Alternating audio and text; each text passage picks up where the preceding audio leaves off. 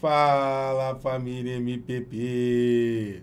Uma boa noite a todos e seja muito bem-vindo e seja muito bem-vinda a essa aula onde eu vou te mostrar que é possível sim gabaritar matemática da banca Munesp. Legal? Para cima da PM São Paulo e vamos com tudo que esse ano é tudo nosso. 2.700 vagas anunciadas. É uma oportunidade tremenda para você mudar de vez a sua vida, né? A estabilidade, dar uma qualidade melhor de vida para você e para sua família. Então, vamos juntos. O passado não tem como a gente mudar, agora é daqui para frente. E estamos aqui realmente para te ajudar. Beleza? No finalzinho da aula, vamos falar do curso, né? montamos o curso, já viramos a chave, já está tudo focado aí na Banca Munesp, né? FGV faz parte do passado. E no decorrer da aula, né, lá para o finalzinho, a gente fala com mais detalhes sobre o curso. Ah, Marcão, quero estudar com vocês, como é que eu faço? Então, lá para o finalzinho da aula, a gente bate um papo. Agora é de verdade. Caneta e papel na mão e simbora para cima deles. Mas antes de começarmos aí a detonar as questões, você sabe o que é a tríade do método MPP? A tríade do método MPP são três simples técnicas que regem a nossa metodologia de ensino. É isso aí. É o que vai fazer, né? Resumindo, é o que vai fazer você passar na prova. É o que eu venho falando aqui nas aulas. Um aluno sem macete, um aluno sem técnica, é igual um leão sem dente na savana. Na savana uma hora você será abatido. Então, esse é o nosso diferencial. Por isso que a galera vem atrás da gente, porque aqui tem um método, né, que é a tríade do método MPP. Vamos lá, falando um pouquinho dessas três técnicas para você. Legal? A primeira técnica do método MPP tá aqui, ó. É o método dos 50 ou método das marcações. Para que, que serve né, a primeira técnica do método MPP? Com a primeira técnica, você vai aprender a interpretar as questões. É isso aí. Primeira coisa que você aprende do nosso curso é interpretar. Você não é mais aquele aluno agoniado, né, que está ali lendo e escrevendo, né, o escrivão, né, o agoniado. Não. Agora você vai ter acesso, né, você vai aprender uma metodologia, você vai ter uma técnica. Então, primeira coisa, cabeça de gelo. Primeiro você interpreta, depois você resolve. Então, primeira coisa, interpretar. Interpretando a questão de forma correta, você já tem aí metade do exercício. Por isso que o nome é método dos 50. Legal? Metade. Então, quando você interpreta, você já tem metade do exercício, ó, método dos 50. Interpretou de forma correta, qual é o próximo passo? Resolver. Aí entra a segunda técnica, né, que vamos né, ensinar aí no curso, né, que é a técnica R. Aí você vai aprender a forma correta de se resolver as questões. Né? O que, que significa o R? Estudar, revisar e exercitar. Então, de tanto você revisar, de tanto você estudar, você acaba aprendendo ali os macetes, né, os bizus, para resolver cada tipo de questão. E num curto prazo de tempo, você já começa a ver resultado, porque são vários exercícios. E você resolvendo ali a questão de forma rápida, né? De forma ali bem rápida e correta, você já ganha, você já sai na frente da maioria dos seus concorrentes, porque não tem só matemática na prova da PM São Paulo. Legal? E a terceira técnica é a prática. Você só vai aprender matemática com exercícios, com prática. Aqui é a diferença, né, em relação ao jeito tradicional. Ó. 20% de teoria e 80% de exercícios. Né? A nossa teoria ela já é direcionada, a gente não fica naquele blá blá blá teórico né, da concorrência. Aqui o papo é reto e aqui a gente aprova. Você seguindo a tríade, você vai chegar no seu maior objetivo, que é a sua aprovação. Legal? Agora que eu já falei da tríade, vamos aplicar e aprender com o método MPP. Agora você vai degustar um pouquinho aí da nossa metodologia. Vamos lá, primeira questão na tela. Primeira coisa que a gente vai fazer no exercício, família, é interpretar. Legal? Primeiro interpreta, depois resolve. E para interpretar, nós utilizamos a primeira técnica do método MPP, que é o método dos 50 ou método das marcações. E a primeira técnica funciona assim, ó. Repete aí na sua casa. Sublinhar para interpretar. Vamos lá, sublinhar para interpretar. Método 250 neles, ó. Então vamos lá, família. Um grupo de cinco funcionários de uma mesma escola, todos trabalhando com a mesma eficiência e no mesmo ritmo, levaram quatro horas organizando as salas para uma feira cultural. Se mais três funcionários de mesma eficiência e mesmo ritmo tivessem feito parte desse grupo desde o início, essas mesmas salas teriam sido organizadas em. Então, analisando aqui a questão, é uma questão sobre regra de três. É um probleminha sobre regra de três. Como é que eu sei que é um probleminha sobre regra de três? Pela característica da questão. Né? Ele está comparando ali grandezas ele está comparando pessoas com tempo. Né? Então, sempre que rola né, essa situação né, de comparação, o problema é sobre regras de três. Legal? Então, a primeira etapa foi cumprida. Já analisei, já interpretei. Qual é a próxima etapa? Resolver. Para resolver a questão, entra em cena a segunda técnica do método que é a técnica R. É assim que funciona no nosso curso. De tanto você estudar, revisar e exercitar, você já sabe o que tem que fazer na questão. São vários exercícios. Então já é automático. Para resolver um probleminha de regra de três, eu vou usar aqui a regra dos sinais, né? Um macete, né, dos sinais. Pô, Marcão, como é que funciona esse macete dos sinais? Pô, é muito fácil. Ó, iguais. Você vai multiplicar cruzado. E se os sinais forem diferentes, você vai multiplicar em linha. Ô Marcão, passa a visão aí pra gente. Vamos lá. Cinco funcionários, né? De mesma eficiência, organizam, né? As salas em quatro horas. Aí ele fala aqui, ó, se mais três chegarem, quanto tempo levaria? Por se chegar mais três, eu não tenho cinco, eu passo a ter oito funcionários. Aí a pergunta é, quanto tempo eles levariam? Né? Quantas horas eles levariam? Não sei. Mas uma coisa é certa, vou analisar. Se eu tenho mais pessoas, oito, se eu tenho mais pessoas trabalhando para mim, com certeza eu levo o quê? Menos tempo para fazer a tarefa. Se eu tenho mais pessoas, eu levo menos tempo. Aí olha como é fácil. Os sinais são iguais ou diferentes? Pô, Marcão, são diferentes. Se são diferentes, eu tenho que multiplicar em linha. Ó, eu vou multiplicar em linha. Ó, 8 vezes x tem que ser igual a 5 vezes 4. Acabou.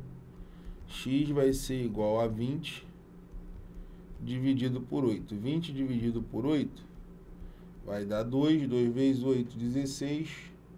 Para 20 está faltando 4. Coloca o zero e a vírgula. 40 dividido por 8 vai dar 5, o resto zero. Vai dar 2 horas e meia. E é a mesma coisa que 2 horas e 30 minutos. Olhando ali as opções, gabarito, letra bravo marca o V da vitória e vai ser feliz. Tá vendo como é fácil? Vamos lá, mais uma questão. Pô, Marcão, gostei do macete, hein? Vamos lá, mais uma questão. Vamos lá, seguindo o método. Sublinhar para interpretar. Ó. Método 250 neles. Ó. Vamos lá. Um estudante constatou que nos últimos dois anos, 2020 e 2021, ele leu um total de 30 livros.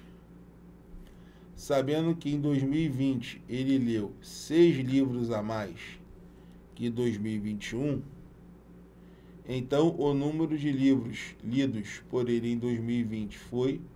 Então vamos lá, é um probleminha, né? É um probleminha envolvendo equações. É sempre que aparecer ali no contexto, né? O dobro, o triplo, né? Aparecer né, a expressão a mais, né? Ou a menos. Então, essa linguagem, né? Nos remete né, a isso, né? É um probleminha envolvendo equações. Legal? Pela linguagem ali matemática, nos remete a isso. E o que, que ele está querendo aqui na questão? Ele quer a quantidade de livros de 2020, que ele leu em 2020. Legal, primeira etapa cumprida. Qual é a próxima etapa, Marcão? Resolver. Aí entra em cena a técnica R. De tanto cara estudar, revisar, estudar, revisar, ele já sabe né, o que, que tem que fazer. Para resolver um probleminha envolvendo equações, temos que utilizar a técnica TTE. O que significa isso, Marcão? Transformando textos em equações a gente tem que passar tudo isso aí, né, em outras palavras, para a linguagem matemática, ou seja, transformar esse texto em uma equação. Vamos lá. Temos aqui 2020 livros, né, que ele leu em 2020, e temos aqui os livros que ele leu em 2021. Vamos lá. Ele fala aqui que em 2020 ele leu seis livros a mais que 2021. Então, se 2021 ele leu X livros, ó, passando para a linguagem matemática. Quando você não sabe, você chama de X. Ó, X livros. Em 2020 ele leu 6 a mais, ou seja, X mais 6. Aí acabou, porque o total, né, 30. Então vou montar agora a minha equação, ó. X mais 6 mais X tem que ser igual a 30. Só o néctar, só o filé, ó. 2x é igual a 30 menos 6. 2x igual a 24. x vai ser igual a 24 dividido por 2. x igual a 12. Só que essa é a resposta e tem que analisar. 12 é o que ele leu em 2021. Só que ele está querendo saber em 2020. Então vai ser 12 mais 6, que vai dar quanto? 18. Então, olhando ali as opções, qual é o nosso gabarito? Letra D. Marca o V da vitória e vai ser feliz. Legal? Lindo, né? Pô, Marcão, como é que eu faço para aprender isso, cara? Eu não tô acreditando. Pô, esse ano eu passo, ano que vem que é a prova eu vou passar. Cara, é muito simples. Basta você aprender o método MPP. E para mostrar para você que nós impactamos realmente, principalmente na área de segurança pública, que nós transformamos a vida das pessoas, coloquei aqui para vocês, cara, um relato maravilhoso de uma aluna nossa que mandou uma mensagem, né? Aquele, aquela parte motivacional da aula, né? Para mostrar para você que é possível, né, chegar lá. Ó, quero agradecer a Deus por colocar no meu caminho o tio Renato e o Marcão, professores incríveis que me arrancaram o trauma que eu tinha da matemática. Sempre fiz provas de cursinhos, né, de concursos, e nunca acertei nem a metade das questões. Recentemente fiz a prova do MP, acertando 12 de 15, erros bestas. E a prova da PM São Paulo, gabaritei. Obrigado, meus mestres, por toda a atenção e cuidado e disposição. E só confiar e seguir o método, isso é muito importante. Amo as aulas, amo o método, amo vocês. Serei para sempre aluna. Beijo e muito obrigada. Juntos conseguiremos.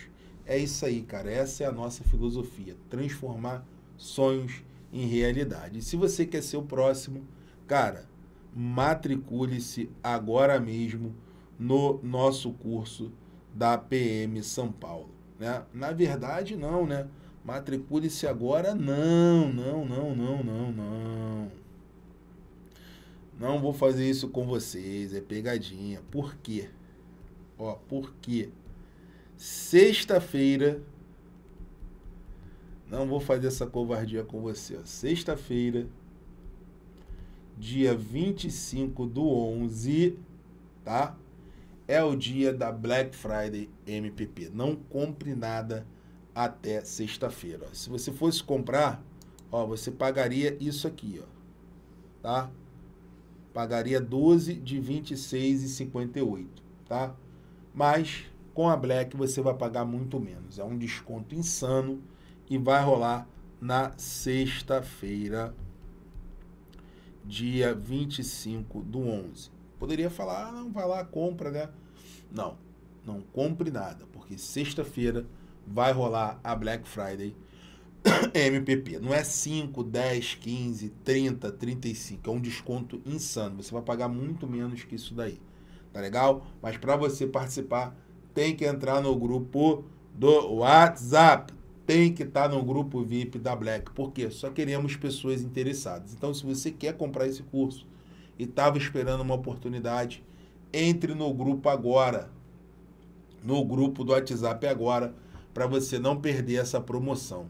Tá legal? Beleza? Entre no grupo agora. E quem comprar sexta-feira ainda vai levar um bônus, né? Que nós chamamos de bônus surpresa, que é um cronograma da PM, onde você vai sair do absoluto zero ao gabarito em matemática. Tá aqui, ó, em seis semanas. Tá? Então, deixe para comprar no dia 25 do 11 que é a próxima sexta-feira.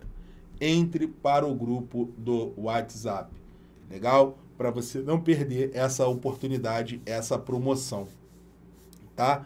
É um desconto insano. Entre no grupo que lá a gente vai conversando e vai passando tudo bonitinho para você. Sexta-feira é o grande dia. Tá? Aqui embaixo, aqui abaixo na descrição, nós deixamos também o link para você. Tá legal? Beleza? Então, é isso. Vamos lá. Passamos para a próxima questão. Vamos lá. Sublinhar para interpretar. Método 250 neles. Duas chapas metálicas retangulares e de mesma espessura, mais expressivos, mais desprezíveis, medem 72 por 48 e 72 por 36. Elas são recortadas, de modo a ter ambas uma medida com x centímetros, para formar o objeto que está representado na figura abaixo. Aí todo mundo está vendo aí a figura. Se para a formação do objeto não poderá haver sobreposição de uma de uma chapa sobre a outra, então o valor de x deverá ser igual a. Então vamos lá. Qual é a jogada aqui? Essa questão é uma questão que envolve relações métricas no triângulo retângulo. É uma questão que envolve relações métricas no triângulo retângulo. A relação métrica mais famosa é o teorema de Pitágoras, né? é o teorema de Pitágoras. Então é uma questão que envolve esse assunto, tá? Como é que eu sei que envolve esse assunto? Porque todo trapézio retângulo ele tem ali um triângulo retângulo. Se você traçar a altura, nós formamos aqui um triângulo retângulo. Então, com certeza, para encontrar esse valor aqui de x que ele está pedindo, nós vamos utilizar uma relação métrica. Legal? Beleza? E qual relação métrica seria essa? Aí entra aqui a técnica R. Ah, Marcão, qual relação métrica? Pô, poderia aqui usar o teorema de Pitágoras. Né? Só que eu vou usar aqui a ideia dos pitagóricos.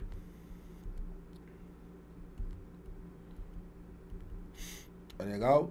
Porque, ó, teorema de Pitágoras sairia. Isso aqui é 48 aqui também é 48. Se aqui é 36, aqui também é 36. Então, aplicando aqui o teorema de Pitágoras, eu consigo matar. Ó. x ao quadrado, ó, hipotenusa ao quadrado, é igual à soma dos quadrados dos catetos. Só que vai dar mais trabalho desenvolver isso daqui. Então eu vou usar a ideia dos pitagóricos. Ó. São triângulos proporcionais. Ó. Vai rolar uma ideia de proporcionalidade. Ó, aqui é o mais famoso. Ó. 3, 4 e 5.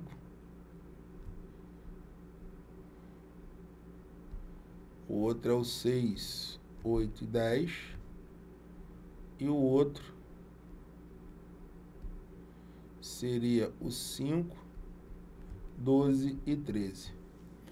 Observando aqui, esses triângulos aqui, ó, eles são proporcionais. Ó. Como é que eu sei que eles são proporcionais? Aí você vai dividir. Ó, 48 dividido por 4. Isso aí vai dar quanto? 12.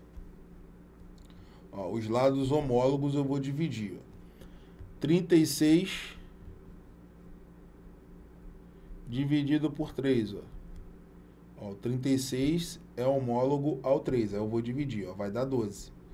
Então, o que, que significa isso? Né, que o 12 é a constante de proporcionalidade. É como se eu tivesse pego aqui, ó, cada lado do triângulo e multiplicado por 12.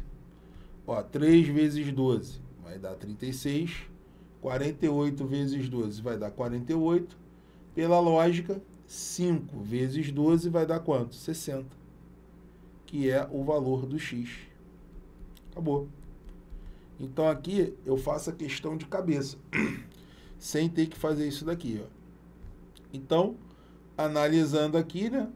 Gabarito seria a letra C. Marca o V da vitória e vai ser feliz. Então, se você quer aprender mais macetes iguais a esse, não compre nada até sexta-feira, dia 25 do 11. Sexta-feira agora é o dia da Black Friday MPP. E isso é para todos os cursos, tá legal? 24 horas de desconto, né, de oportunidade para você mudar a sua vida. Legal? Então, sexta-feira, ah, Marcão, vou estudar para outro concurso, vai ter desconto? Vai. Entre para o grupo VIP. Você tem que estar tá no grupo VIP. Se você está assistindo aqui depois, colocamos aqui na descrição do vídeo, tá? Aqui, embaixo, aqui abaixo, em algum lugar, tem esse link para você entrar. Se você tiver qualquer dúvida em relação a Black, entre em contato com a gente, ó, 021 9702 99443. Pô, Marcão, não estou conseguindo entrar, não estou conseguindo. Então, adiciona aí o número do WhatsApp ele vai te ajudar da melhor maneira possível. E, como sempre, eu deixo aqui um presente para você, né? Você pode baixar o material da aula, o link está aí, né, na descrição, está aqui. Pode baixar o material da aula e também ter acesso ao resumo, tá? O resumo da aula, mas o resumo você tem que entrar no grupo VIP. Para você pegar o resumo, você tem que entrar no grupo VIP. Legal? E lembre-se, o estudo é a estrada que levará você onde deseja chegar. O estudo é a estrada que levará você onde deseja chegar. Ó. Insista, persista e não desista. Matemática é o que, ó, para passar. Valeu, família. Um abraço. Tamo junto.